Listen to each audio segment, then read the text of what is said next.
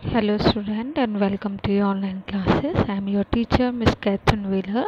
So today uh, we will complete our chapter first question answer and the playing the game.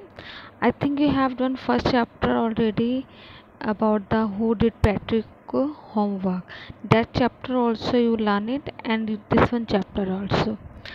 Uh, now we will see the playing the game today we'll do copy work like uh, warm up short answers long answers and grammar work page number 11 to 18 page number 11 to 18 this is the full work we will do in your copy.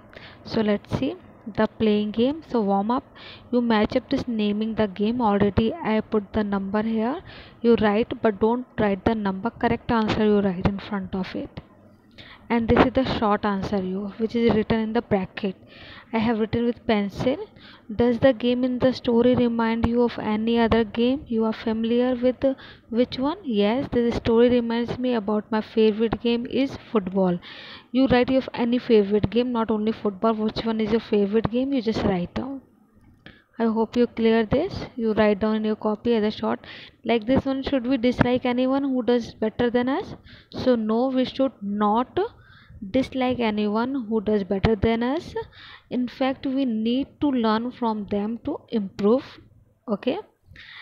This is the answer. According to the story, to be honest and sporting is more important than winning or losing any game.